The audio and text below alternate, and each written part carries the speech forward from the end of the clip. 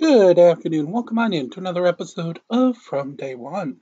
This afternoon, courtesy of our good friend Father Skeptic, we have a substitute defendant who demands both to get help doing his case, but to have speedy trial at the same time. Let's begin. So today, we have an obnoxious defendant who demands both a speedy trial and more time to prepare himself for the speedy trial. In other words, he wants to take a shit and eat it too. So let's begin. People of the state of Michigan versus Benjamin Macario Martinez, 237407ST, 226707ST, and 162435FY. Concerning the matters then we were set over from last time, um, Mr. Downing, in regard to the underlying matters that are left open, has there been any progress? Uh, Your Honor, uh, offer, I believe, was extended to Mr. Martinez by letter dated June 8th, uh, while he's been incarcerated in the jail. We have not heard what his response is, so I would leave it to Mr. Martinez whether he wishes to enter a plea pursuant to that on the two files he has to- to that offer or seek an adjournment. All right, we're also here for sentencing on a number of contempt. So in regard to the two open charges, Mr. Martinez, um, and your proceeding here today in general, are you choosing to proceed without a lawyer here today? Yes, I am, Your Honor. Well, that was your first mistake. And as you guys are about to learn, he wants to represent himself while at the same time complaining over and over about the disadvantages of representing yourself. So concerning the um, Okay. two files that remain open, 6707 and 7407. Ms. Cass apparently sent you another offer after we had court last time. Mr. Martinez, I have no idea what that offer is. The court is not part of any plea bargaining. You have both of these cases here. What is your position in respect to whatever they sent you? Um, I would like to uh, file a motion to have charges all dismissed to the Speedy Trial Act. And uh, also, uh, I'm, I didn't get last time we were in trial or in court. Uh, I didn't. I expressed to the court that I wasn't able to have uh, reasonable time or an adequate uh, law books. They're old. I only got an hour and a half. So what? Do you expect the court to give you eight years to go out and get yourself a law degree? You see, the Constitution allows you to represent yourself, also allows you to lick windows. So just Wait, you because you have a constitutional right to do something does not mean that you should do it. I only know some rules for an hour and a half of studying, so out of uh, my freedom of speech and uh, the rules of professional conduct, I'd like to read well, my motions. Oh, do we have to, All right, Your go right Honor? ahead. Okay, I guess we do. Uh, we waste the time and the money of the people and their state, I would like to say this under the right of free speech, and I would like to invoke on my rights, civil and state laws to state and file motions and to be treated fairly by judge and prosecution to uphold all the laws that are to be Well, held that's in rich. the courts, and so as me representing myself can have a fair chance without having rights infringed upon by any members of the court, and I'm doing so. I'd like to file a motion to have all charges dismissed upon my rights being infringed and violated. Due to these reasons, rights to speedy trial and to have adequate time to with representing myself, and in doing so, these are my civil rights and need to be enforced and protected. Not enough time to study, even after motion, or the judge throughout not able to study in a reasonable time, having defended myself when it was brought to the court's attention and prosecution. If need to, it's all on court record. transcripts and rights of trial by jury and adequate time to have my own witnesses. Are you seeing the contradiction yet? He begins by saying that his right to a speedy trial has been infringed upon, but then he makes a bunch of claims that would require him to waive his right to a speedy trial to begin with. Which are under the time frame and the Ah, so he's prosecution stupid. knowingly didn't explain what or help me, which is repugnant and biased by the court. And for also the court saying and giving false advice, and also for my bond being excessive and also biased in setting bond by stating it's more than fair when I was unable to bond out. And when it was amended, uh, I have reasons why I 30 days from the time line of being able to represent myself is uh, being infringed on. And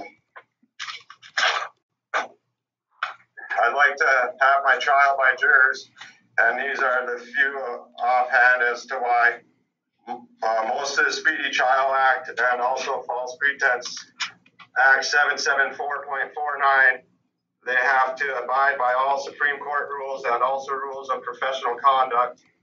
Opinion four, which is federal, asking for help retaining for motion. Prosecutors rule 3.8 didn't take action or all actions, making sure my rights were protected. And rules 4.3, if they Do we have to continue with this legal solid? and what I'm saying, these are U.S. Supreme Court, Michigan rules, and And uh, 30, 30 days minimum for U.S. Supreme Court 3161-C2 dismissal Speedy Trial Act 3162 and 3164 uh, 1974 18 and discipline of all attorney 3161 knowing I'd never be able to proceed without justification rules 3.2 repugnant or imprudent prejudicing impartial trial miscarriage also people versus lehman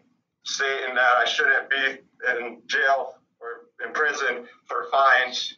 When able to prove i was unable to meet the court's obligations and i was also in jail during the time of uh, the one failure to appear Oh my god, it never ends with this I dipshit. was starting to think the First, he demands a speedy trial, Yeah. he's granted it, and then fails to show up to a speedy trial. Oh, When it oh. plays out like this, typically the judge is under no obligation to reinforce a speedy trial when you waived your right to a speedy trial by not showing up to begin with. Now, right to a speedy trial is a complex matter, and it won't always play out like this, as there are always mitigating circumstances that could allow a judge to come to a different conclusion given a similar situation. i don't think that's very fair that with having Aw, you uh, to go against people that have eight years of schooling versus my hour and a half when I've asked every day to go to the law library and kited, and there's no way that my uh, act to speedy trial, if you need that read, uh, can ever be met. And I got a bunch of federal laws to that if we have to go through all them, why? Or I can write them up in a motion to have more reasons to, for dismissal. All right, thank you, More Mr. reasons for Martinez. toilet Mr. paper? uh, Downing, do you wish an opportunity to respond, or do you want an opportunity Please to no. do a written response, or where are you at with that? Um, that's a very rambling, Yes. uh, if you want to call it, motion. Uh, I don't know how any kind of speedy trial is implemented, uh, impacted here, in as one of these was just set for trial, and the first trial date was today. He also failed to appear on the other one. He's set for sentencing on that. If he's complaining about legal research, he has a right to a court appointed attorney to assist him in advising him of all that. I do know the record two handwritten responses from Mr. Martinez in response to Ms. Cass's offer uh, letter asking to discuss these, the offer with her. It says nothing in there about uh, speedy trial or anything of that nature, to the extent that he's setting himself up or trying to set himself up for these objections, uh, I don't think there's any basis for it whatsoever. But if the court would like a written response, we would need a transcript of what he has rambled on about in order to decide. Yeah, we all do. Exactly, he's arguing. All right, in regard to the matter, we've spent a good hour and a half or more on the record. I think it was last week, maybe the week More like a day and a half. We went through a whole plea colloquy. We got down to the end. The deal had been made. He decided at the last minute then he wanted to have a trial. So we set this matter over to today's date. He didn't want a lawyer then. He doesn't want a lawyer now. Yet you want to complain that you don't have access. You're going up against people with eight years of education. Which is it, Mr. Martinez? You want to represent yourself or you want a lawyer? I want to represent myself, but I also was given false information by some court uh, officers that I wasn't allowed to have a standby counsel or have advice by a counsel. And I know there's a, also a federal law that says that I'm able to have uh, third party advice. So I, I, like I said, I only got out for two days. Really, the, the last two days, I don't know how I'm supposed to be able to study upon the law, which I stated last time that the law book, books are and pages are missing out of them. And I showed guards that last night. Like, there's no way that I have will have 30 days to be able to study and defend myself from the time of this trial. And it states that in there's a federal law that, and if you want to see the Speedy Trial Act, I have it right here. I No, we off. don't need to Be speak familiar with that. Thank at you. it about 35 years now. Thank you, Your Honor. So, in regard to the matter, Mr. Martinez, um, your motions are denied. Oh, thank God. In regard to your, your lack of a speedy trial issue, the following is my finding. One, first off, I'm going to sentence you on all of these failures to appear in contempt of courts. Last week, you had the opportunity. I dismissed and purged two of them. If you pled on two of them, we got through the whole plea colloquy on that, and oh, you didn't want that either. So then we went through the hearings, and I found you guilty of four contempts because you failed to appear three times and you haven't paid. We're looking at a what, 2016 case that you still haven't paid on. So this is my sentence. You want to say anything in respect to your failures to appear sentencing before I impose sentence? Please don't be Mr. stupid Martinez. enough to sue. Yes, there's federal laws stating and that, that you cannot imprison somebody for fines being unpaid. Yeah, fines, but not court ordered sanctions. If you were ordered by the court to pay money and you failed to do so, you better have a good reason, or you could be found in contempt of court and be holding all future hearings from the Zoom jail center instead of the dumpster behind 7 Eleven. And I'm like, and I already told you that I can prove that I wasn't there. You guys know the law. You're supposed to uphold it on both sides. I know that. It Well, I that. made my findings. You are able to you, appeal told, you anything gave me you wish. bogus information. Martinez. You're not supposed to give me legal information. That's not your. You're not supposed to do that. The only thing you can tell me is I can go by representation or I'm allowed to have an attorney. You gave me bogus laws to look up and information, and you were biased. So That's there's right. another reason. Well, Mr. Wait, Martinez, she's biased your by helping you? objections are noted for the record and preserved. In regard to the matter on the failure to appear and failure to pay in 162435 FY, I'm imposing 45 days in jail, 23 days of Yay, credit on 45 both days. counts. In respect to 226707ST, two failures to appear, 45 days in jail, credit for 23 days concurrently with the other case. In regard to your outstanding cases, the 237407 ST, we will set that for trial on July 10th. That'll be all-day trial. That one will come first. And we will set the 226707 ST trial for, um, just for a call that day. But we're gonna try the newer one first. The older one, he's already failed to appear on it twice. I'm making the following findings in respect concerning Michigan Court Rule 6.004 speedy trial. In regard to the matter concerning Mr. Martinez, bond is set at 1,000 personal recognizance. Actually, it's set at 1,000 personal recognizance in 237407 ST. I don't think I'm going to set that one first then. In regard to the 226707,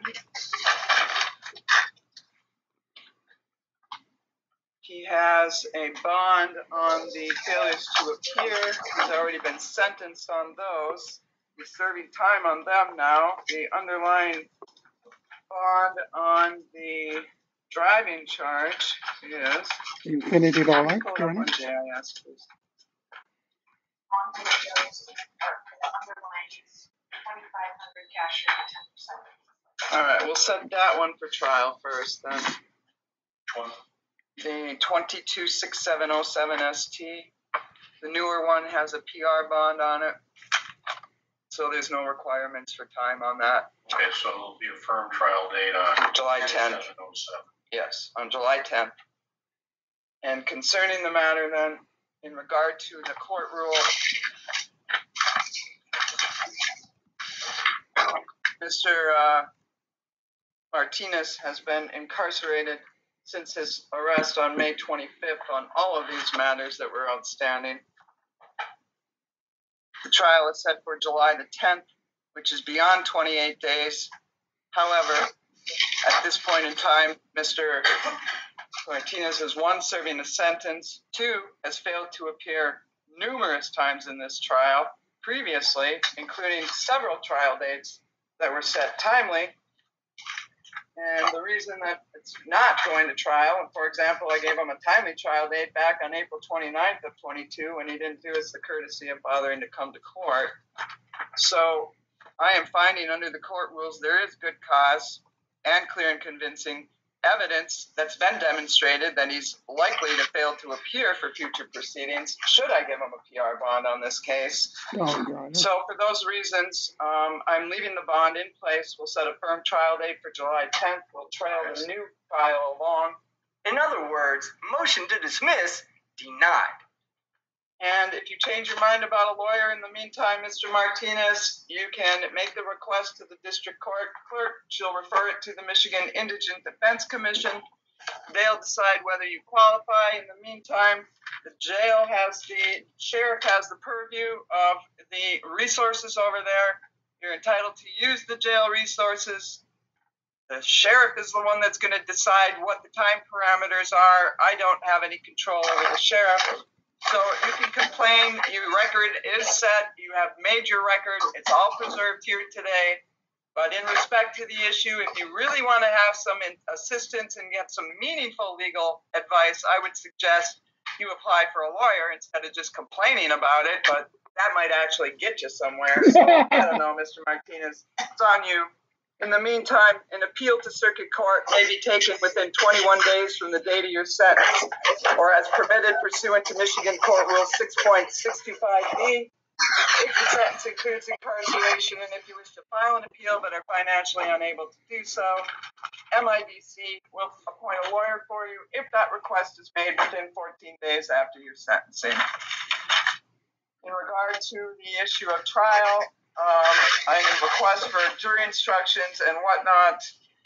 The pretrial order was released. I sent out a pretrial order last year. Those 10 deadlines remain in place. Mr. Martinez, we'll see you for trial July the 10th. Yep. If anything changes in the meantime, you know what to do. Yeah, Yes, the balance due Mhm. remains outstanding, payable commencing 30 days after his release from jail and every 30th day thereafter. And that's 100 a month on that outstanding 2016 case. All right, Really? thanks to the only a hundred? That'll be it on these files. Bye. Have a great time.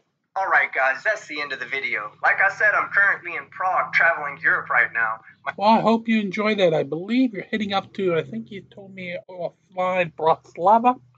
That's a beautiful little country. Hope you enjoy. Thank you for being with us over there in Europe. Alrighty. So with that, we're going to bring the afternoon to a close. As always, please make sure you like, share, and subscribe. Be kind to one another and release the Krakens as we march along this afternoon and every afternoon here from day one. Have a great afternoon. We'll see you tonight for more fun.